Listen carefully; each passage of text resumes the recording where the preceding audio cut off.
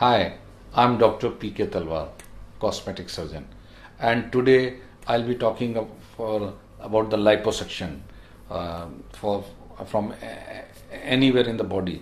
So liposuction basically is a treatment for excess fat deposit from different parts of body. It's not a treatment for obesity, but wherever there are localized bulges, we can tackle them. Like if there you got extra fat on the chest uh, like in men you have got gynecomastia or extra fat from the abdomen, thighs, buttocks. So wherever there are localized fat deposits, we can uh, remove the fat um, by means of liposuction. People ask me whether it's a treatment for obesity. So I said no, no, it's it's not a treatment for obesity. Because obesity is a general generalized uh, term because see, fat is all over the body. So it is basically a disease which needs to be corrected. Now, only where where you have got residual fat like thighs, abdomen, buttocks, anywhere, localized fat deposits, those areas can be uh, treated by liposuction. Now, what is the meaning of liposuction? Liposuction means lipo is fat and suction is uh, uh, uh removal of fat by suction method.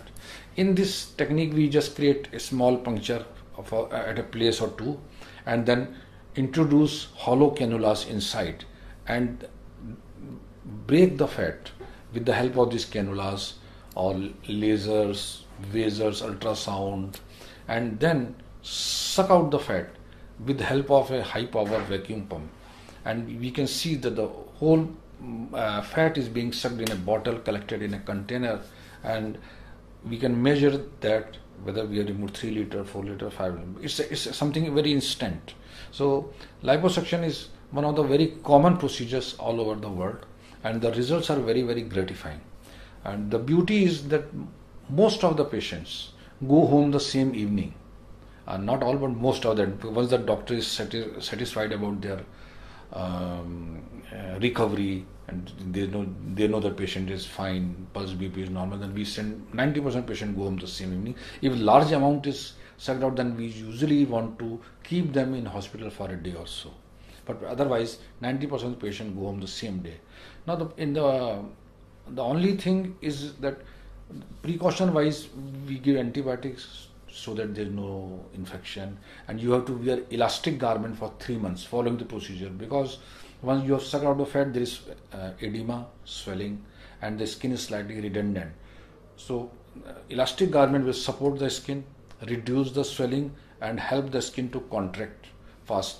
And this takes usually three months because the internal swelling takes usually three months to subside now the same procedure is being done in the gynecomastia also i'm talking about the male breast which is called gynecomastia in gynecom in gynecomastia it is the extra fat on the male breast plus the gland is also enlarged so what we do we do the liposuction and then excision of the extra gland, which is enlarged gland, so that it becomes as normal as anywhere, uh, anybody else.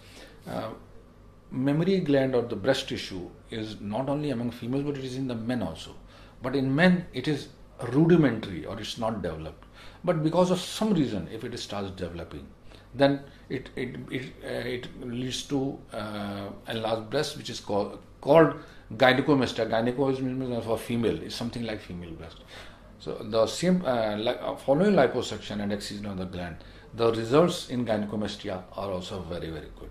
You just have to uh, wear the elastic garments uh, for, for, three months and that's and take antibiotics. And if there is are any questions, you can contact me through uh, through Liberate for chatting, uh, booking appointment, or call my cl- clinic directly at E34 Greater Kailash 1 New Delhi.